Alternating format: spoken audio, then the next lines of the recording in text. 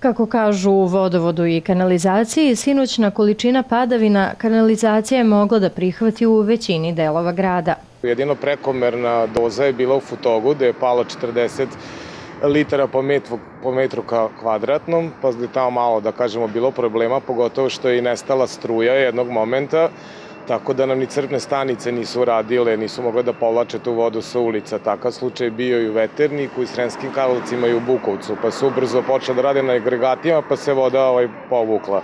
Što se tiče samog uh, grada, na kratko je bio prekid u Temerinskoj ulici, a otežan saobraćaj jedno vreme je bio u Jevrojskoj ulici. Javna komunalna preduzeća su odmah posle nevremena izašla na teren i sanirala štetu.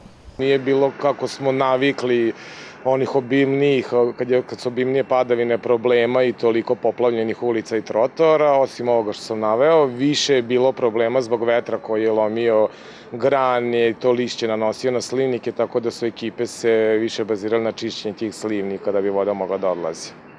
Radnici gradskog zelenila veće intervencije imali su u blizini Lovotursa na prilazu Petrovaradinskoj tvrđevi gde je stablo palo na vozilo žandarmerije. Na samom prostoru tvrđave vetar je oborio dva stabla. Najviše posla je bilo i na Futoškom putu gde su stabla pala na uglu sa ulicom Nikole Tesli u blizini Univer Eksporta, a uklanjali su i veliki broj pali grana kako bi se normalizovao saobraćaj i kretanje pešaka.